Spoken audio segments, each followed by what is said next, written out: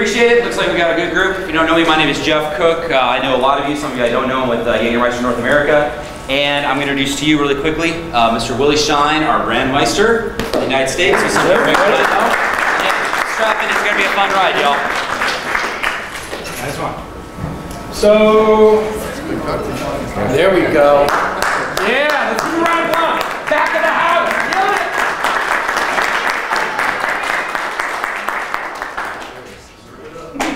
All right, how's everybody doing? Feeling good? You guys ready to get bitter with it? You're just coming off some bitter, aren't you? We're, go, we're, we're, we're gonna turn up and take it bitter style, right? Oh, take it to bitter town. So like Jeff said, my name is Willy Shine. I work with Jägermeister. Um, I'm also a uh, drinker with a bartending problem, as I'm sure all of you are as well. How many bartenders in the room? Most of you. Nice. awesome. So bartender for 20 plus years. Um, been in the game for a long time. Worked with multiple brands. Uh, super proud, very happy to be working with this iconic brand, Jägermeister. Um, as you'll see in the next couple of years, especially next year in 2017, new campaign, new style. Um, we're coming out with bigger, bigger, better, faster, stronger. Um, you're going to notice that all we're going to be talking about is provenance, authenticity, process, heritage, everything that Jägermeister hasn't talked about up until this point, right? So everybody in this room, I'm sure, being a bartender for a couple of years or being a bartender for 20 plus like me, as you can see in the gray beard, um, Jägermeister, you know, as, as we all know and love from, from, from years past, is that celebratory shot, is that ice cold celebratory shot. Whether you have uh, feelings one way or another about it, the story's never been told about truly what Jägermeister is. Um, Jägermeister is very similar to being an Amaro from, from Italy, although it's made in Germany. The same process goes into it the same exact process. And what we're going to do today, you see a lot of things going on in your mat in front of you. Um, we're going to talk through some things. We're going to go through some essence of, uh, of different botanicals. You have some dried herbs. You have a couple of different spirits that are Amaros and Krauterlikors in front of you. And what I want to go through today in the next 45 minutes to an hour, and do my best to get through all this information because it's a ton. And all I've been doing is researching all the way back to as far as the Roman Empire.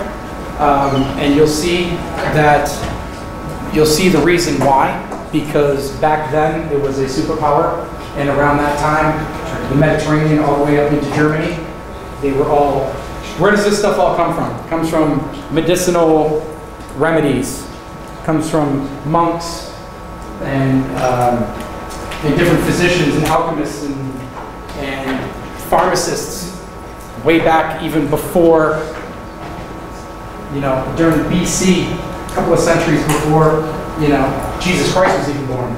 They were, Jesus Christ, sweet superstar. Um, back then, medicine was all about herbs. It was about singular herbs, and it was about recipes of different herbs together. It was all about them trying to find cure-alls that would ultimately, the main goal, which we'll get into, is was for these monks and these pharmacists, these alchemists, everybody was to find medicinal properties that would help cure the things that was ailing people because people were dying very young. And modern medicine happened way later, after the 15, 1600s, is when modern medicine kicked in. What we're used to today didn't really even kick in until the 1600s. Previous to that, it was about religion, it was about herbs and spices and flowers It was about those kinds of things that would, and how they worked on your body, and how they made you, how they you know, fixed different things that was going on with you, right? So that's what this is all about. We're going to take a, a journey, and we're going to go back in time. I'm going to sit up here because I have to refer to my notes, because this, guys, is the first iteration of this. So thank you for being my inaugural group to, uh, to be here, so I appreciate you all. And I'd also like to say that it, this is actually my first time in the Tampa area, so I'm super proud to be here. Much love to you guys. So let's kick it off, right? right, let's have some fun. so, welcome to the DJSTIVE tour.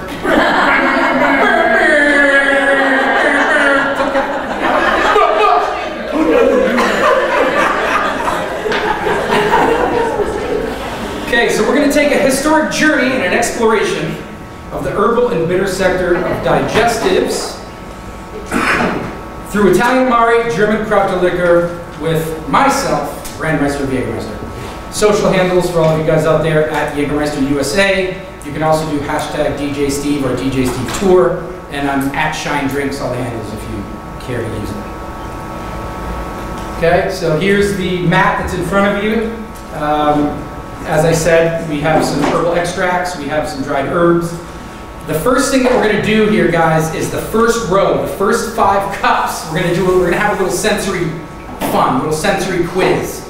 So I only want to do it in a few minutes because we don't have that much time. So the first five of them, I want each one of you. Does everybody have a pen? Okay, so underneath each one of those first five that are closest to you, I want you to smell, don't taste them, because these are tinctures and extracts, they're very high, like, flavor profile, kill your, kill your palate. So just use your nose, just smell. And I want you to write down underneath what you think that it is, okay?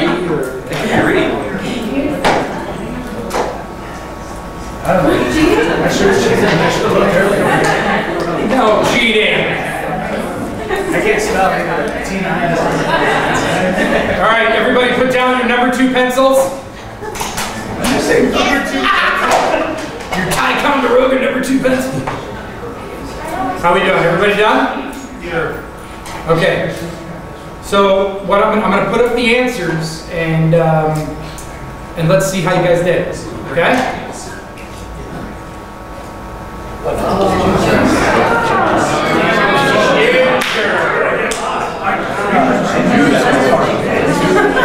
I might- Okay, so I'm gonna go through, I'm gonna go through each one. I'm gonna go through each one and by a sound of ba ba ba, I wanna hear how many got number one right. How many got number two right? How many got number three right? How many got number four right? How many got number five right? I wanted to. Really want to get that. Awesome. So, That's just, just a quick little quiz to open up the, uh, open up your olfactory a little bit. You know, these extracts are, are, are very important in the um, creation of vermouths and herbal liqueurs, so um, it's a, it's a perfect way to start, so thank you for doing that. Okay. Whoops. Using two computers here, so. All right, so we're gonna, at this point, let's, let's um, talk a little bit of history. We're gonna set the stage, okay? So guys, um, bear with me. This is gonna be a a ton of information, and I've tried to like bring it down as much as I can, but I, I- I really wanna like take this back to a point that in the end, it really makes sense, okay? So, um, let's go. So, with, you, you can't really, you can't really talk about any type of herbal liqueur or vermouth or anything of the like within the category without going as far back as the Silk Road, okay? So the Silk Road, guys, was from 200 BC to 1400 AD. Wasn't a road, it was a bunch of trade routes, okay? It didn't begin the trades, trade routes, but it expanded the scope of them. It changed the world of Africa and Eurasia, um, and uh, the, the Silk Roads went from all the way from China all the way to the uh, western Mediterranean, not only by land but also by sea. Um, this was the original route that's all by land, and as you can see, it goes all the way from China all the way up to ultimately it gets to Rome, uh, and which is a very important point, which we'll get to momentarily. Um, in between you know, all that land between China and, and all the way to the uh, eastern part of, or eastern western part of the Mediterranean, there had to be people that kind of, you know, we had the nomadic tribes, nomadic people, the people that like helped, you know, make these, this trade happen, right? The traders, the merchants, all that kind of stuff. And uh, uh, one of the people were the Mongols. And the Mongols were a big part of this because they were the ones who started using camels um, instead of donkeys. Um, and why is that important? Because camels at that time actually worked faster, they needed less uh, to eat and drink, and they could carry more on their backs. So the fact that the Mongols started using camels really pushed the Silk Road forward in, this time frame um, and helped you know, bring all types of luxuries and different things throughout the, uh, the, the world at that time. Um, so some of the things were from China. It came what, what, what came from China was like jade, silver, iron. From India, it was fine cotton, textiles. East Africa was ivory, and from Arabia was spices and incense. So some of the effects of the Silk Road as well. Um, a bunch of cities popped up, and one of them um, was called Palmyra. And Palmyra was a city that uh, that grew very big, that ultimately was um, built with a lot of architecture, like from the Roman Empire, uh, with a lot of Romanism, and uh, ultimately due to the fact that there was so much market, so much trade, so much stuff happening on the Silk Road. This is why these cities were popping up, and Palmyra was one of them. Um, the rich during this time, during the Silk Road, uh, of course, were affected due to the fact that they got a lot more luxuries. Uh, the poor was affected due to the fact that they had a lot more jobs. Um, what else went along the Silk Road was religion, especially Buddhism, was spread along the Silk Road. The Silk Road. Uh, merchants and traders became supporters of monasteries along the Silk Road. And why? Because they were places that they could stop and get. Uh, they, they were like there was were like hospitals at the time and like bed and breakfasts of the time. Um, it's where the, the traders and merchants and the monasteries really worked hand in hand at the time uh, for a lot of different reasons. But then ultimately, the Silk Road uh, sent um, a lot of plague and disease and that kind of thing. So later on, during the Middle Ages, like after the Roman Empire, during the Holy Roman Empire in the Middle Ages, the Dark Ages, this is when we saw millions and millions of people die due to plague and that kind of thing.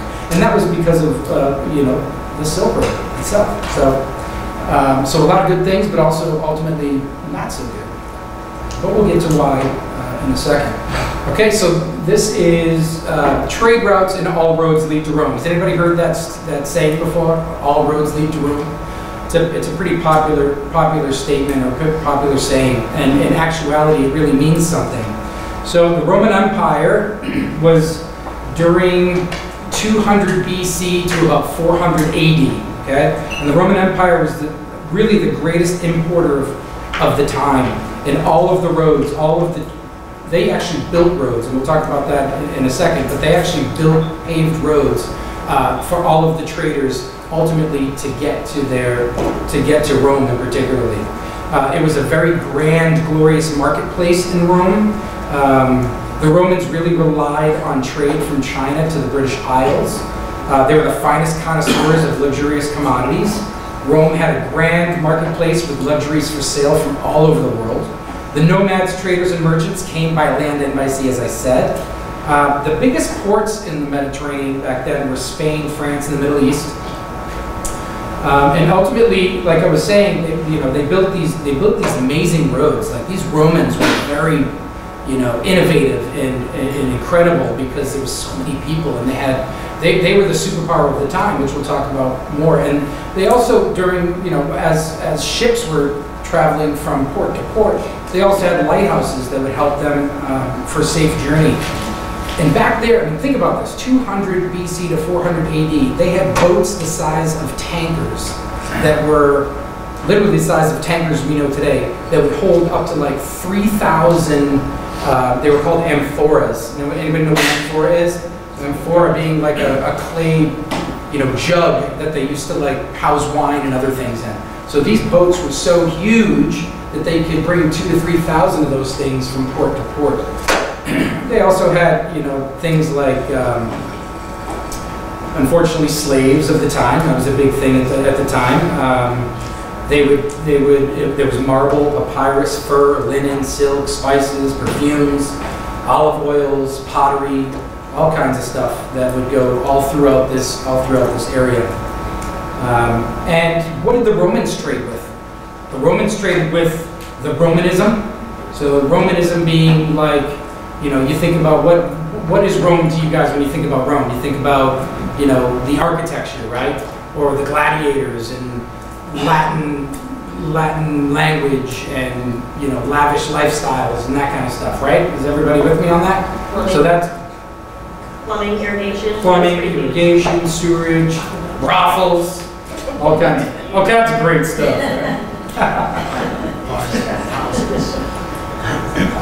Okay, so this is, if you can see it, this is ac- an actual, um, at, at its biggest, um, that's, that's what it looked like. So Gaul, Spain, borders of Africa there, Italy, Greece, Syria, Egypt, into Asia, all the way up to Germany. Um, 65 million people at that point. So this is the Roman Empire. We can't discuss anything beverage without taking a bit or talking a bit about this area of time, its magnitude and its behaviors. So the Roman Empire, as you can see, like you said, was uh, 65 million people. Uh, Rome was the epicenter of it. Can everybody see where Rome is? Right here. That was the epicenter of this whole of this whole area. And it was a superpower of the time, as I said before. It covered over 2 million square miles. Um, at 146 BC, it owned most of the Mediterranean. At 106 AD, expansion ended as it hit ocean and as it hit desert. They didn't expand anymore uh, where they couldn't grow olives or wine or grapes for wine. So talking about what uh, what summer, what you were just saying. So they were innovators, they were inventors. Um, the Romans um, were very big in, in, in innovating and, and, and expanding, you know, their, all these things. So you'll see here, that top left is an aqueduct. So in Rome, where there was one million people living, each one at the peak of the Roman Empire had like three to four gallons of fresh water a day, Amazing. which was a lot. A lot. That's a lot of fresh water for that time, because water at that time was super contaminated. Right. That's why they drank a shit ton of beer and a shit ton of wine. And we'll get into that too. Um, the top right is, a, is an old bathroom. Um, this is you know. They were so ahead of the time as far as like taking care of um, you know sewerage and, and, and all that stuff. These were the roads that they would pave. right? Roads all over Italy, all over the Roman Empire, so traders and soldiers can ultimately make their way back to Rome. And then, of course, cathedrals, um, and bathhouses, and grand theaters, and like I said, brothels, and temples, and coliseums, all kinds of stuff. So, and again, we're just setting the stage right now to, to get to the point of, uh, of this whole thing. These guys are the three great ancient teachers of medicine, okay? Um, one is from Rome, one is from Persia, one is from Greece. Galen is a Roman, Avicenna is from uh, Persia, and Hippocrates is from Greece. Is is Greek from Greece. Anybody heard of Hippocrates before? Right. So he was a Greek physician, and he's is considered one of the most outstanding figures in the history of medicine. He is referred to as the father of modern medicine. Hippocrates is credited with being the first person to believe that diseases were caused naturally, not because of superstition and gods. He separated the discipline of medicine from religion, believing and arguing that, the, that disease was not a punishment inflicted by the gods, but rather the product of environmental factors, diet, and living habits. So literally, you know, modern medicine, it goes back to this, this day and age of what, of, of Hippocrates. So Galen, who we'll talk more about too, is, he, he came around in the late 100s, first century AD, and he built on the early idea, ideas of Hippocrates, that illness was the result of an imbalance of the body. Galen's early interest in wine, when we start talking about beverage, was as young, as a young doctor, he treated dis- and disinfected gladiators' with it. Because back then, water was so contaminated. If you poured water on a wound, it would just, it would get so bad and you would die from it. So they would use beer and wine as, as, as medicine to pour on wounds uh, because of the, the alcohol in it. And it, and it helped, uh, helped clean the wounds. He was also the personal physician of Marcus Aurelius. We've heard of Marcus Aurelius, right? Yeah. Uh, best known for his universal antidote and daily medicine for the king for the prevention of poisoning and overall illness. First introduced by a guy named Mith- Mithridates, uh, first century BCE, Galen's cure cure-all contains 71 ingredients, including ground up lizards, poppy juice, spices, incense, juniper berries, ginger, hemlock seeds, raisins, fennel, aniseed, and licorice. So, I mean, there was 70, 71 of them, but that was some of it. And this king would drink that every single day. But in order to wash that down, because it was so nasty, Galen was, would prescribe Marcus Aurelius only the best vintage of wine, right? and so, what was the best vintage of wine? It was wine that was ancient, it was old wine that still had its sweetness, that didn't have any bitter to it. So that's how they considered their best, the best vintages of the time. And Galen would not give anything else but the best to the king. And you know, it's funny because you think about the 71 ingredients, it goes into the antidote. It's pretty nasty. You better give something good, right? and then you have uh, Avicenna, who was a Persian polymath, who, which means he was a writer and a philosopher and good at everything. Um, who was regarded as one of the most significant thinkers and writers of the ancient times, with over 400 works dedicated to philosophy and medicine. Has anybody heard of the word panacea before? So Panacea uh, was also a Greek god. She was the Greek goddess of universal medicine. And panaceas, uh, as we talk through all this history, each one of these guys, whether that be Galen, uh, Avicenna, or Hippo- Hippocrates, and, and even going into alchemists and going into you know pharmacists and, and everybody as we go through time, everybody was trying to find the panacea, which was the cure-all, which was the the one herbal remedy with everything in it that would just cure everything that was wrong with you, that would further your life and just cure everything. That's what a panacea is, and that's what that from the beginning was what everybody was trying to accomplish.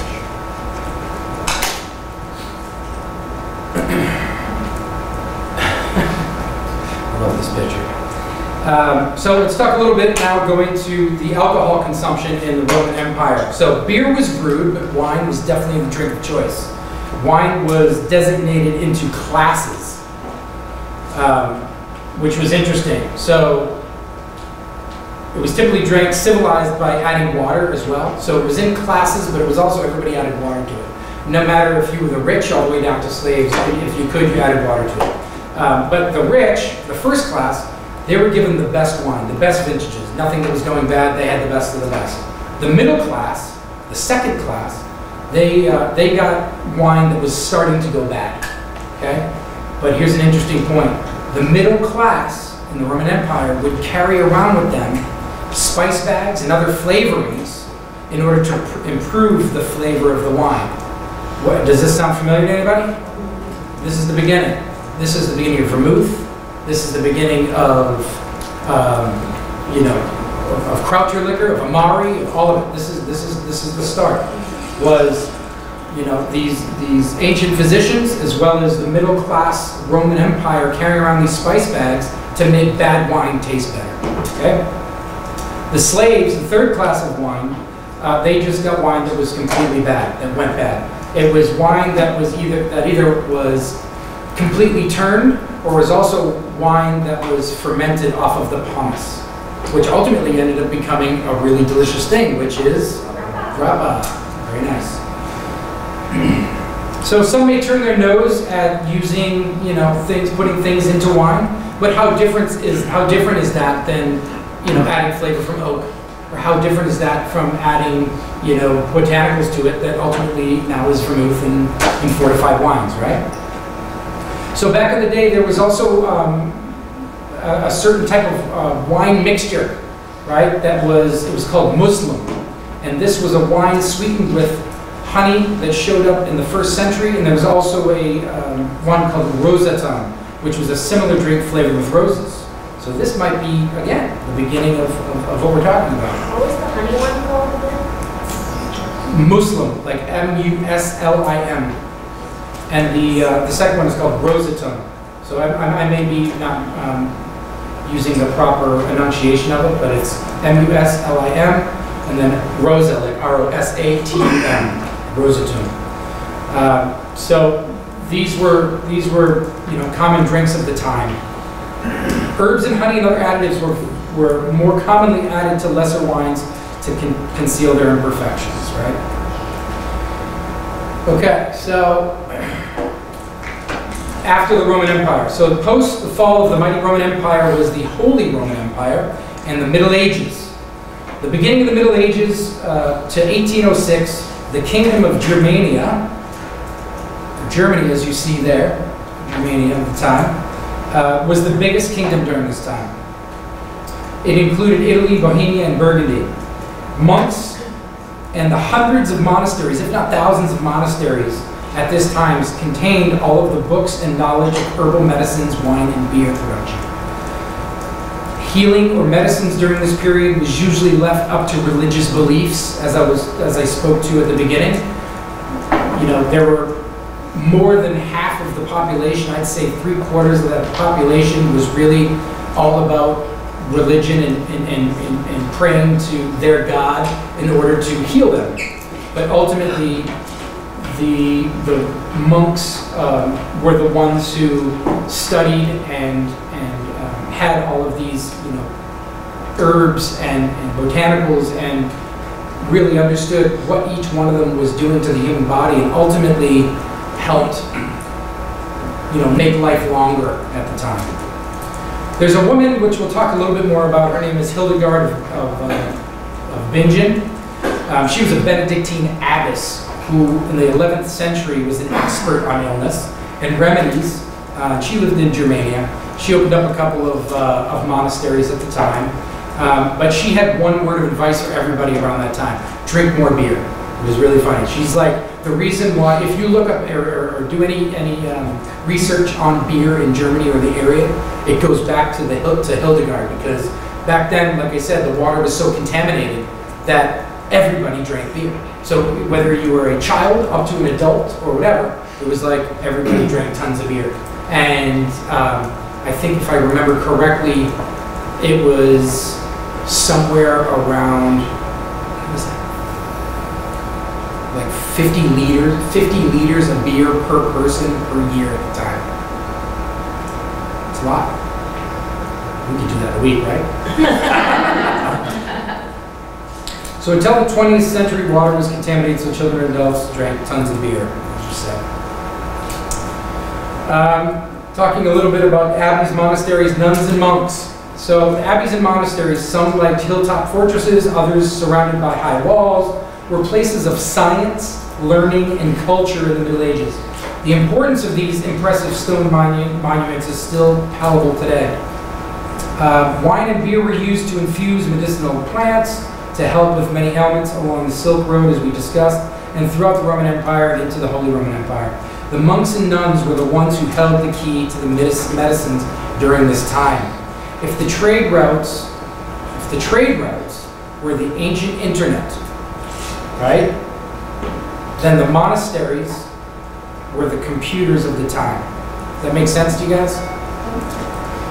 Literally, all those trade routes, all those roads, all those, you know, the Silk Road and the routes on the sea, by land, everything, all of the knowledge, all of the information, all of the, all of that stuff was really harnessed by the monks in the monasteries. There were so many, thousands, all over, all over the, uh, the Roman Empire and, and beyond. Most of the monasteries back then would also take in the sick and dying to tend to them, because those were, back in the day, those were the hospitals of the time. This is uh, Hildegard of Bingen. Um, She was born in 1098. Um, I said she was a German Benedictine abbess. She was a writer, a composer, a philosopher. She is considered to be the founder of the scientific natural history um, in Germany. She founded two monasteries. Um, and what what's so important about her is once you start learning and studying about, you know, Amari and Krauterlikor, it really, a lot of it goes back to some of her works. Um, she wrote a couple of books. One was called The Physica, and the other was called The Causa Curae. And the first one, Physica, was a medicinal book, um, a medical book that uh, talked about the properties of various plants, stones, fish, reptiles, and animals. And the second book uh, was the explanation of the human body and how plants and uh, herbs and spices and roots, flowers, all that, how it, how it worked on the human body. And also antidotes and cures of different diseases. Um, both of these books are historically significant as they show areas of medicinal, or sorry, medieval medicine that were not well documented because their practitioners, mainly women, rarely wrote in Latin. So she's a, she was a badass at the time. It's pretty cool. So distillation. So we've now gone through the time period in, uh, of uh, the Roman Empire into the Holy Roman Empire. During this time, it was all about beer and wine. Beer and wine drinking, beer and wine as medicine, the infusions of beer and wine uh, to, to you know, help everything that ailed you. And now it's the time where distillation happens, right?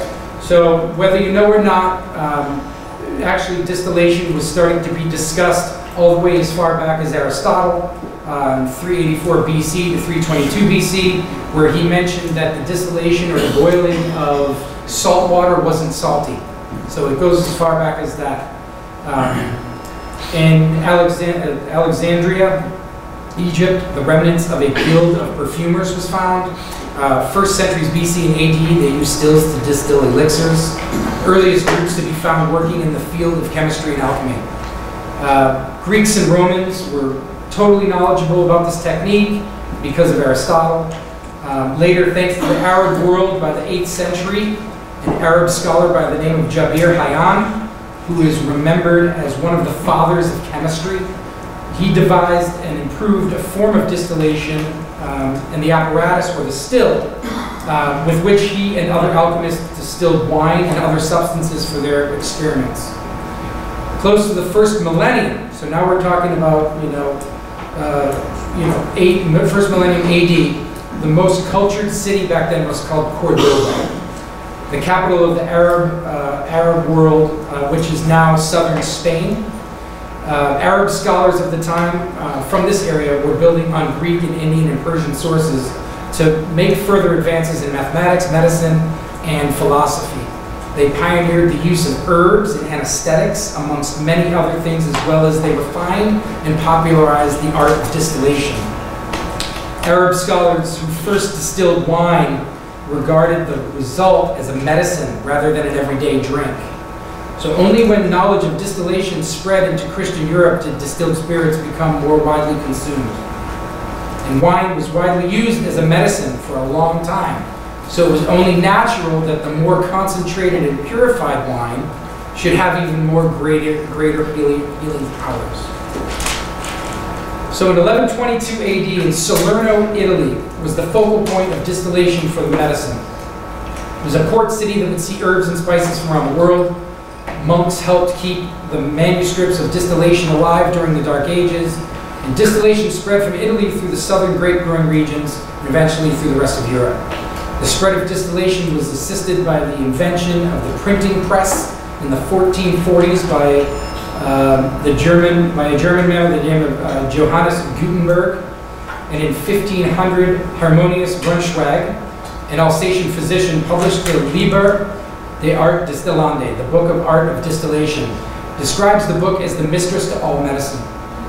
Names like life water have continued to be the inspiration for the names of several types of beverages, like Gaelic whiskey, French eau de vie, possibly vodka, also Scandinavian aquavit. Spirits get its name from the Latin phrase of aquavite.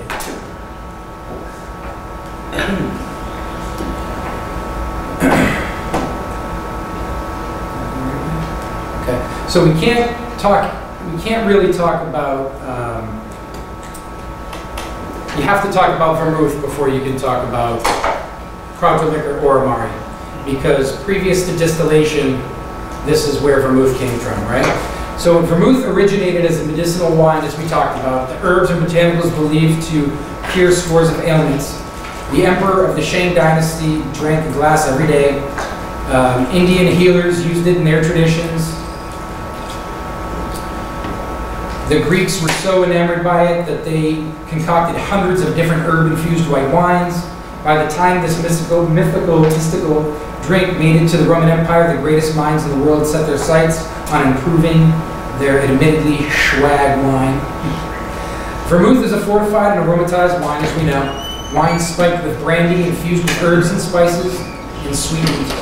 There are two main varieties, as we know, red, sweet, vermouth, uh, which originally hails from Italy, and white dry vermouth, which first appeared in France. Uh, which, if, you know, if, if, I think a lot of you here are classic style bartenders. You know that if you read like Jerry Thomas's book and all the old books, you see, you know, dry, French dry, Italian white. The name vermouth is the French pronunciation of German word wormut, which means wormwood. That has been used as an ingredient in the drink over its history. Fortified wines containing wormwood as a principal ingredient exist in Germany, existed in Germany around the 16th century. At about this time, an Italian merchant named De Alessio began producing a similar product in Piedmont as a wormwood wine. And then going back to Hippocrates, the father of modern medicine is likely also the father of vermouth. What Hippocrates would serve his patient, patients was quite possibly the earliest, earliest form of vermouth. Prescribed from everything from jaundice to menstrual pains, vermouth was believed to aid many illness and was also commonly used as an antidote against poisonous mushrooms and hemlock. Vermouth is a German creation stemming from the language's word of wormwood, vermouth, and the country's historical wormwood-infused wines. Geographically, vermouth, as we know it today, is decidedly an Italian and French invention from the 18th century kingdom of Sardinia. The region was the first to take the ancient concept of mixing wine with herbs and market it to the commercial population. They wanted both to give the local wine a different flavor profile and also to infuse medicinal herbs into a tonic. During, during the final decades of the 18th century, there was a very popular trend in Europe for creating new and different aperitifs, aiming towards the most unusual blends of wines, alcohols, herbs, and other ingredients. This phenomenon spanned the center of Europe, southern Germany, Germany, Switzerland, Austria, and northern Italy. The first commercial and modern vermouths were packed and in Turin and Milan, which became the home of this drink, and in the 18th century. Up here on the left-hand side, that's a picture of what wormwood looks like when it's in plant form. And over there on the right is a, uh, as you see, a map of the area of where vermouth, uh, modern vermouth was made popularized and commercialized. Really? Yeah. What's this cocktail? The first one or the second one? Both. Both. The first cocktail is a variation on a spritz. I call it Spritz 56. So it's, uh, it's Jägermeister lemon juice, a little bit of simple uh, with Prosecco. So very nice aperitif, easy drinking.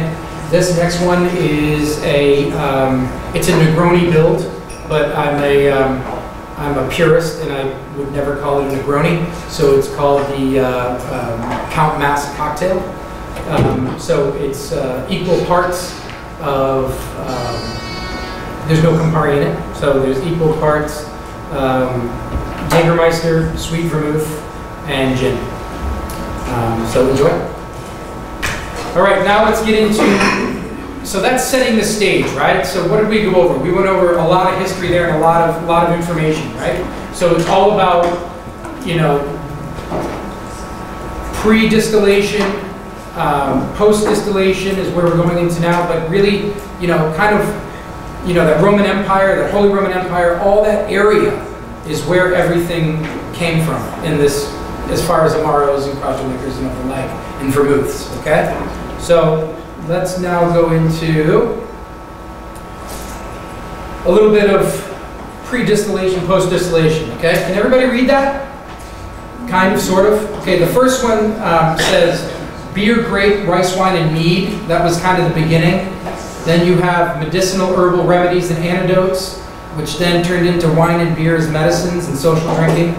Wine and beer based herbal remedies, and also sweetened and not sweetened. And ultimately, in the 1100s AD, was where distillation happened and began uh, Water of Life Aqua Vitae. And off of that spawned Aramari, Amari, liquor, bitters, um, herbal liquors, liqueurs, spirits. Next slide is um, just really based on liqueur or liqueur styles. So uh, before distillation, you had the herbal and sweet enhanced wines.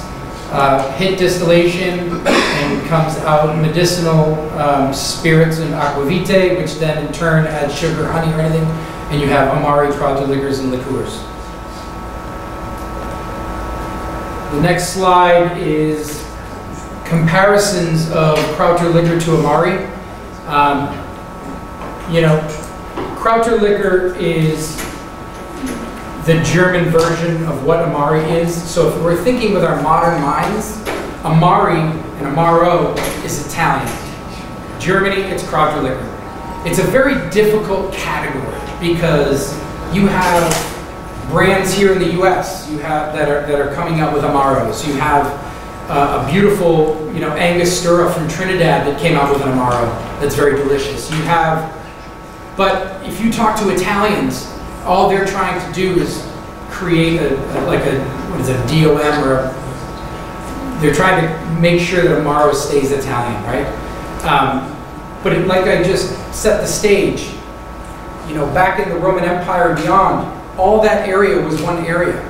So historically, where all this stuff came from is from the same place. It just so happens that in modern time, we have Germany, we have Italy, we have, you know, all these other countries around it, where Becherovka is from, where Unicum is from, you know, uh, they're, they're all from the same place.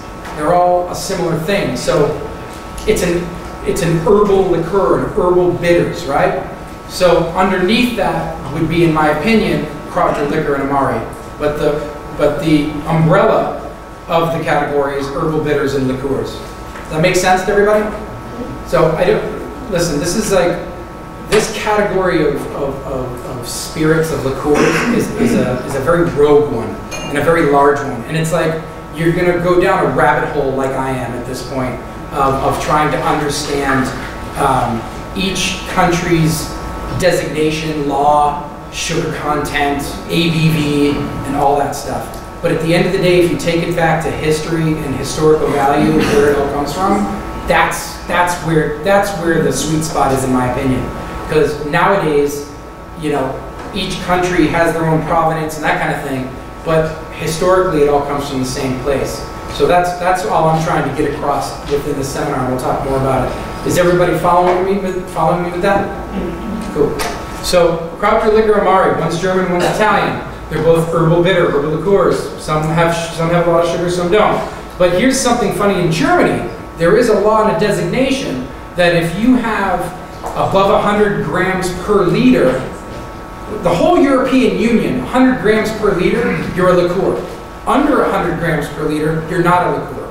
That's, that is a law in the European Union. But in, if you're a bitter herbal liqueur in Germany and you have over 100 grams per liter, you're a half bitter. This is the only country in the world that calls it a half bitter. Under 100 grams per liter, it's called a bitter. In Italy, they don't have that. But how I mean, everybody here has had multiple types of amaros, right? And under the term amaro or amari, there's all different, all different flavor profiles and styles, right? But at the end of the day, when we talk about, and I was just in Italy and I was, I had a master class with this amazing guy that I'll mention his name momentarily. Um, and I, I spent some time traveling in northern Italy. But in Italy, bitters, when they say bitters, bitters, that's Campari, that's aperitif, that's, um, forget the name of it, it's either yellow or red. That's how they designate it. Amaro Amari is more herbal, dark and brown, right? So that's the Italian take on it. And it could be, it could have a ton of sugar, it could have not much sugar. It could be like we're gonna taste one today that has a good amount of sugar in it, it's a liqueur, or it could be like you tasted Fernet Branca, right? I think Fernet Branca has 30, 30 grams of sugar, 20 grams of sugar. Anybody here from Fernet Branca? 130 calories an ounce. 130 calories, but like 20, you know, 20 grams of sugar. It's like a Guinness. 115 calories, babe. I was on the time, okay? But, but my point is, this is a great time for us as bartenders and as people in our craft um, and beyond. You know, bitter is is is has a there's a big movement, right? Big movement of bitter right now. Five years ago, were you guys drinking bitter? Ten years ago, some of you been drinking bitter. I mean, ten. I mean, shit. I mean, ten years ago, I've been I've been drinking bitter my whole life. Shit. No, but I mean, listen. Bitter right now is is, is, is is a huge, huge movement. And if we're in the front lines as bartenders, our guests are starting to get advanced palates. They're starting to be educated. They're starting to want to know where things are from, what the provenance is. They're trying. They're starting to drink more bitter than they are sweet. So this is a great moment for all Amaro, all Krauter, all of us. It's a you know whatever that whatever that uh, that saying is. All boats rise at the tide. I mean, in my opinion, all of the all of the bitter you know um, friends and competitors, whatever, all of us working together is a good thing, right? In my opinion. All right, so that's those are the those are the commonalities and, and slight differences, but they're very much the same. So I met this guy in Germany. Uh, I'm sorry, in, in Italy. Um, his name was Fulvio Piccinino. Anybody heard of Fulvio Piccinino? No? So this guy is pretty much the godfather of Amaro and pharmacy and all that kind of stuff as far as historic value. And he said to me, he said, I spent four hours with him in a master class at the Campari headquarters at HQ. And he said to me, he said, Willy, you can historically break down Italy in two ways, northern and southern. Mountain medicinal herbs up north, citrus herbal down, down, down south. Because, but nowadays in the modern take, of course, you know, herbs and spices you can get anywhere and you can, you know, the modern, the more modern styles, it doesn't really fall into that category. But historically, this is where it came from. The, the alpine balsamic medicinal pharmacy style herbs uh, into Amaros was north, and the more orange citrus was south. Okay? So a little bit of uh, Italy, you have your Amaris, which ultimately bitter herbal digestivos, you have liqueurs, which are your like maraschinos and uh, amarettos, that kind of thing. You have your bitters, like we talked about, aperitivo, Campari, Aperol. You have grappa, you have brandies that are grape-based, and you have uh, fruit-based. In Germany, up north, it's all it's all grain usually, which is called corn. Down south is all roots and fruits. So as you get closer to Austria and Switzerland, there's an area called the um, the Black Forest. In eau de vies and schnapps of this area is all about, or schnapps actually there is is an eau de vie. It's fruit-based brandy. Um, so everything, kind of like when you learn about tequila, and mezcal is the is the umbrella. Germany, the umbrella category is schnapps. Everything is schnapps there. Here in the U.S., schnapps is what Dr. McGillicuddy's, you know, you know, like really bad, like overly sugared, terrible stuff. But in Germany, you know, corn, which is their version of, of grain vodka, is is a schnapps. Uh, there's Doppelkorn, which is a twice distilled. There's Kirsch, which I'm sure everybody's heard of, which is from cherries, fermented and, and distilled cherries. Obstler, apple pear, Burn is pear, and you can see down the line. I know I'm running out of time, but um, I want to get to tasting here real quick. Um, and uh, of course, let's you know aperitif and digestif. This gets thrown around like like crazily. Let's just keep it simple, right? Proof and sugar content. Aperitivo before low sugar, low proof. Digestivo after high proof, sometimes higher sugar. But sometimes they're one and the same. Us making cocktails, you can take a high proof and make a spritz out of it, and then ultimately, ultimately it's what? It's an aperitivo, right? So this is just little rules of thumb, but ultimately sometimes they're one and the same. Potable, non-potable. A lot of people talk about potable, non-potable bitters, right? So potable is ones that you that we typically drink, right? Amaros, Krauters, that kind of thing. Non-potable are your aromatized, or sorry, your um, cocktail bitters, like Angostura, Peychaud's Bitter Truth. I'll skip down to, unless you're enjoying a Trinidad Sour from Mr. Giuseppe Gonzalez at Suffolk Arms. Then you're drinking two ounces of Angostura bitters in the cocktail. and it's fucking delicious if you haven't had it. Um, so let's get into the tasting real quick, guys. So the spices that are on the mat are you have clove and a lot of the, these these five six spices here are some of the spices that go into making Jägermeister. Okay, so you have just catch up. You have clove, uh, which the best ones you can find in Madagascar and Tanzania. Um, soothe and relax the inner linings of your intestines, aiding in digestion. It has all that stuff. Um, star anise, which is the second one. Vietnam and China is where you typically find the best. Um, it's responsible for some of the sweetness in Jägermeister, not just sugar. FYI, sugar only has 140 grams per liter, so it's actually very low in sugar. It's just the um, some of the herbal um, notes that are in there that kind of push sugar forward, which was actually used in a lot of the pharmacy, pharmacists like alchemy back in the day when they're when it tasted like shit, they would add sugar to it. So that you, or sorry, they would add star anise, fennel, licorice, that kind of thing. So it actually has historic value.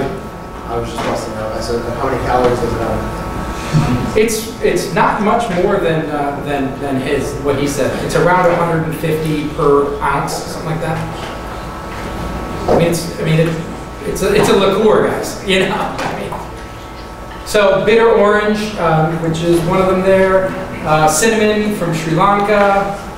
Uh, Chiretta, which is one of the bittering agents that go in it. Some of the other bitter bitter stuff is, of course, wormwood, cinchona, um, gentian, things like that. Uh, we got ginger in there, you smell. And guys, there's one that's a milled spices. Everybody pick up the milled spices. This is literally the 56 herbs and spices that go into Jägermeister, all milled down. Does it smell like Jägermeister? Yes. It does, right? and there's no sugar in there, but it smells sweet, right? How many calories are in this, you think? What if I rub it on your... No, I'm just kidding. okay, and then the next thing I want you to do is, um, underneath those spices is a little spoon. That spoon is the base of Jägermeister. So the process of making Jägermeister and a lot of Amaros and craft liquors is we bring in all of the spices and, and dry, right? Some people, some people hire perfume companies, some people hire extract companies, that kind of thing. Jägermeister and some others, we bring in our own and we create our own extracts, okay? 56 herbs and spices, they're broken into four different macerates, um, and you know, broken down by, by flower, by type, right? So all the roots go together because roots are very strong and hard and they, they if you, if you mix roots with botanical flowers, ultimately you won't get the best extraction because some take longer than others, right? So, and some take higher proof alcohol and some take lower proof alcohol. So ultimately it's broken into four macerates over 30, 34 days or so. um, under alcohol and water. We extract those flavors from the dried herbs that are all within that mill. And then ultimately, it goes into a uh, oak cask, Slovenian oak cask, which is fairly typical to the style. Um, and it sits in there for a year. And we're not imparting any flavor profile onto it. It's just sitting there to rest. And it's done this, it's been done the same way from the beginning. It, there's nothing's changed, right? It's been the same way since 1934. So what you're tasting there is what is then what is what comes out of the cask, what comes out of that oak cask after a year. So that's the base of Jägermeister, right? So next steps after that are to add sugar, to add caramel, to add uh, water to bring it down to dilution, and then bottle and go. Okay? We're all educated people here. We've been through a lot of educational categories of, of different spirits. Caramel sometimes is a dirty word. In this category, Amaros, Krauterlikors, caramel is part of the ingredients in that it actually adds some of the bitter um, and burnt toasted flavors that you get. So how many people have ever had? How many people have ever had a creme brulee before? You burn the sugar on top of it. That's the flavor profile that you get off of caramel that goes into it. Somebody had a question? I was gonna say, so we're talking caramel in flavor, not in color. Correct. That is exactly right. Burnt sugar. Um, okay, so let's get into doing some tasting. Let's bust it out real quick. I know everybody's running out of time here or whatever, but the way that I want to do this is okay. How to taste like a pro. Always smell and evaluate first. Always taste twice. The first gets in your mouth ready. Move your liquid around your mouth and, and over your gums. Breathe, breathe through your nose and your mouth open slightly. Allow the aromas to cross over your palate. Um, you are all good tasters. It's just a repetition um, to get to really good at it. And ultimately, we're drinking bitter here, so uh, keep an open mind. Okay. So the first thing I want to try is um, let's see. We're gonna we're gonna start over in Amari. Okay. And we're gonna start with the number two.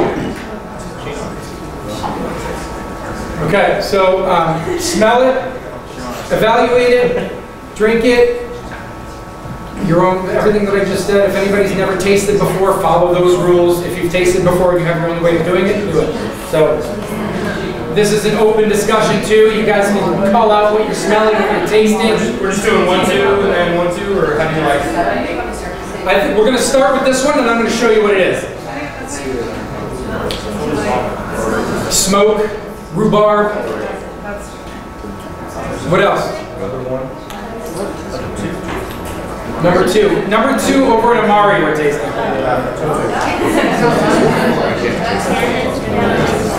Tannin, some honey, some, some bitter.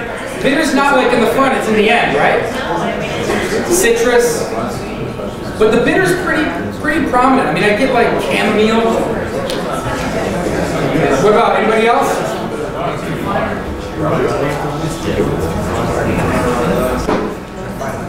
Nice one.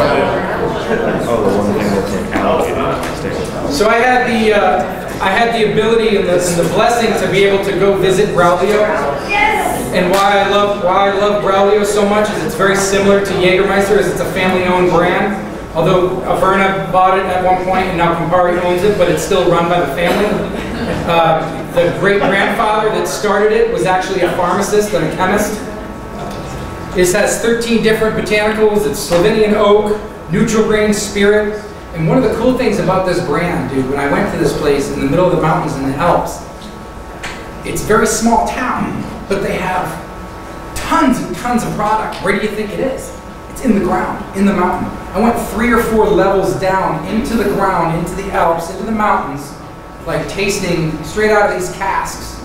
It was, un- it was unbelievable. They just dug into a mountain? They dug straight into a mountain down so they could, so they could put more oh, No, casks. I They dug deep into the ground. Yeah, no. And so like, so, so it really took over the town, but under the streets. So you're literally under the streets of Bormio, it's called, is the town. Okay, so that was, that was that one. Okay, so now let's do number one in Amari. Very different, right? The nose is completely different, more cocoa. Mild. Mild, mild in the nose, right?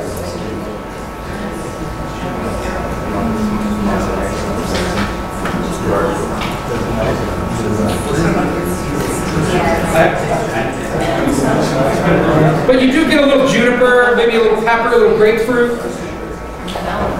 Some vanilla, right? Vanilla, big time. Who said vanilla? I get it. Let's take two sips.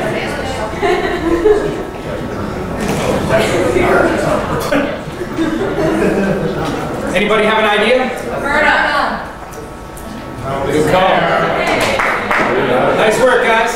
So the reason why I showed these two is Braulio is from the north. Those are mountain herbs. You got wormwood, gentian, you got um, those balsamic style mountain herbs. And then Averna is from the south. So you're getting a little bit more citrus. Um, I couldn't find how many botanicals were in Averna. Does anybody here work for Averna? There's at least two, right? It's also neutral Nutrigrain Spirit. It's made the same way. It goes as far back as the monks who handed it over to uh, to the, the gentleman, the, the, the, the Salvatore Averna, who was a benefactor of the monastery that helped you know fix some of the broken pieces of the monastery.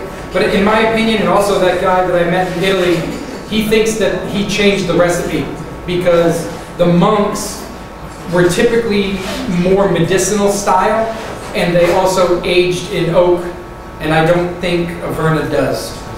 So I think certain things, cer- certain things changed back then when he took over the recipe. One of my favorites, though, I mean, I mean, back in the '90s, uh, back in the early 2000s, as a nightclub bartender, that was one of the. Me and Tim Cooper in New York, we used to rip Averna. Oops. Okay. What's that one? All right, so number one under Krauter.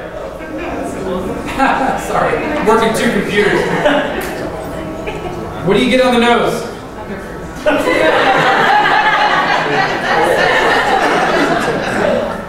I had, I had, I had, the one, the one mistake I have comes at the most important time. Of course. Edit.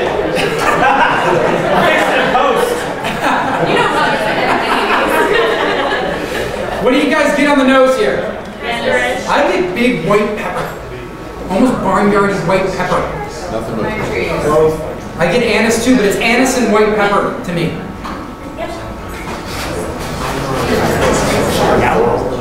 Some floral. You're definitely getting clove and cinnamon. I mean, cinnamon and clove are huge here, right?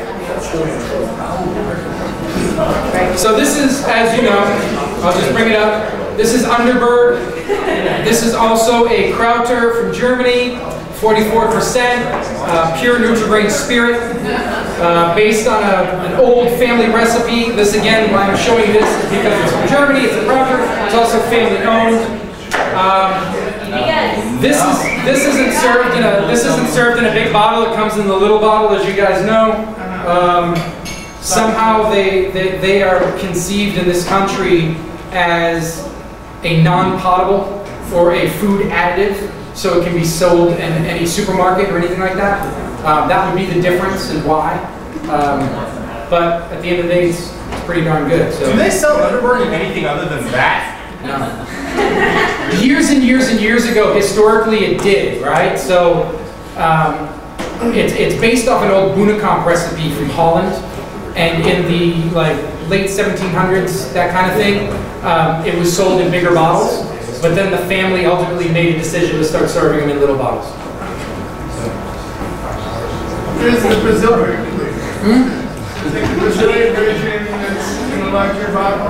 It's not really good, it's the same stuff. It's a Underberg, I don't know. I don't know. Were the caps in the bigger bottles worth more? They were like five small bottle caps? Try them. No idea. I would love to go back in time though, live during that age. I want the belt. I want the belt.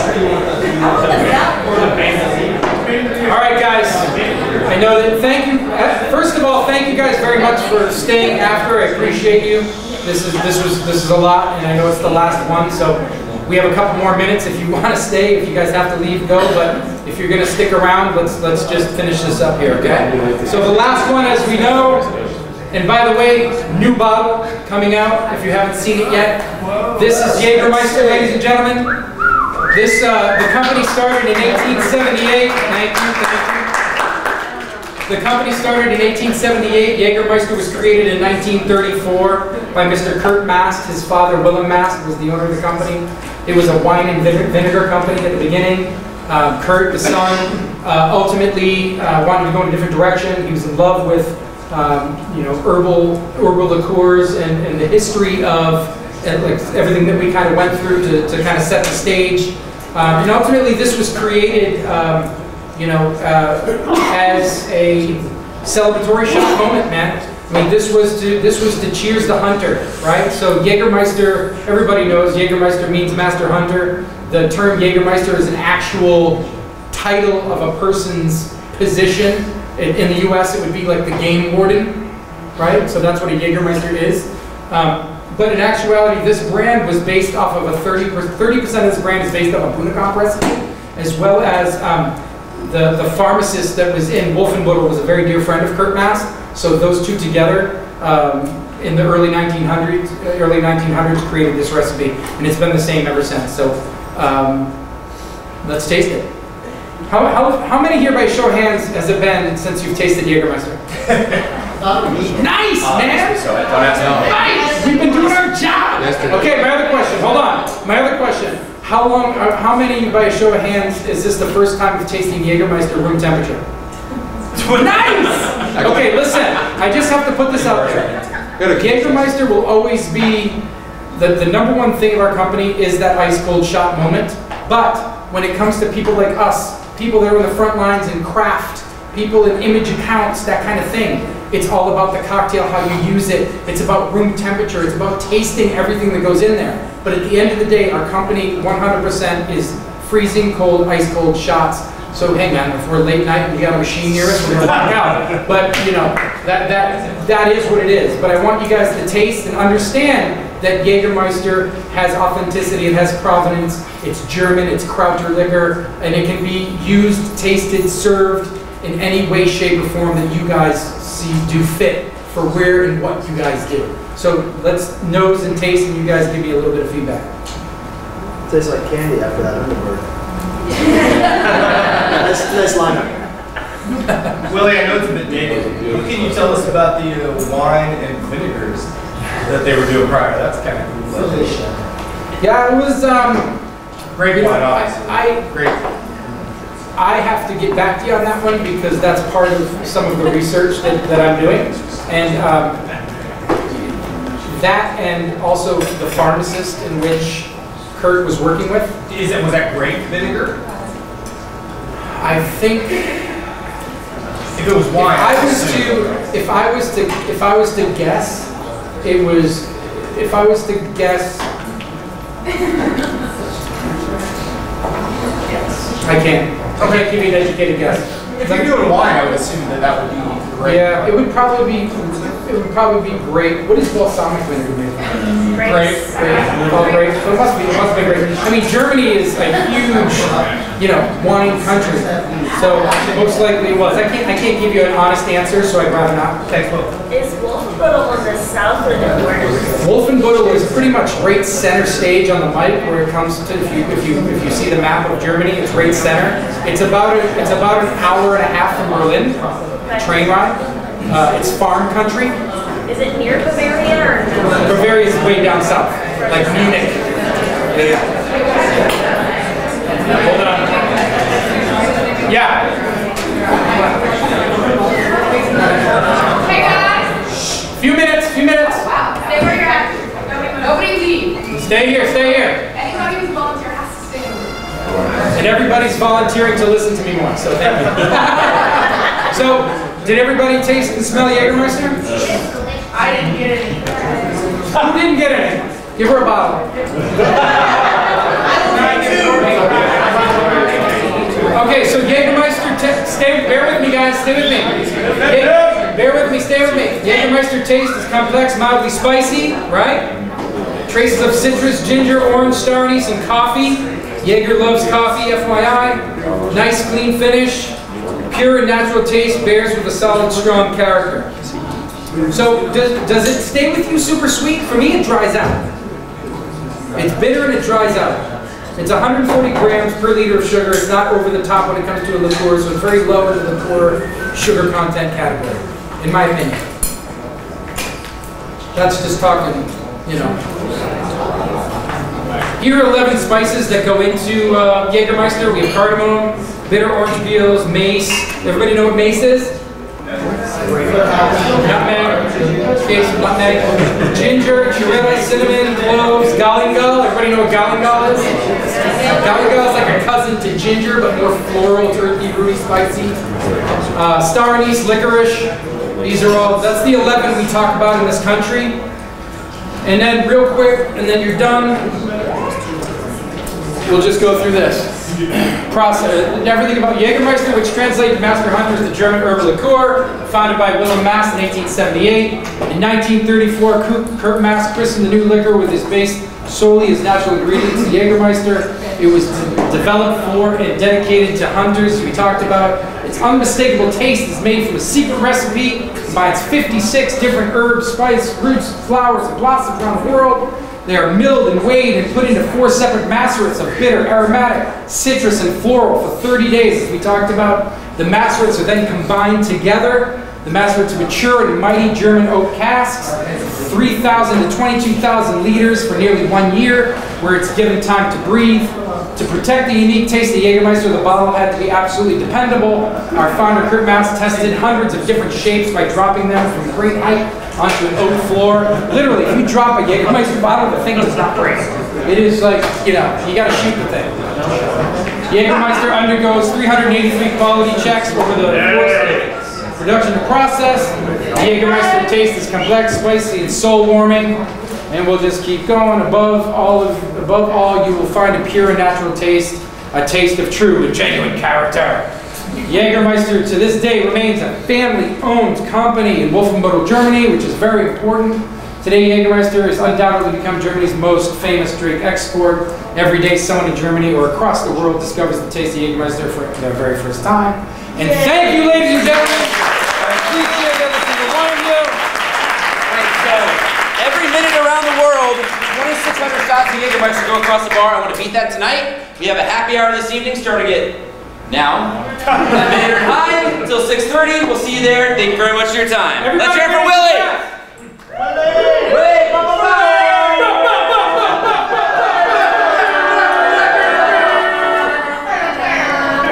Much love to all of you. Thank you. Cheers. Thank you. Everybody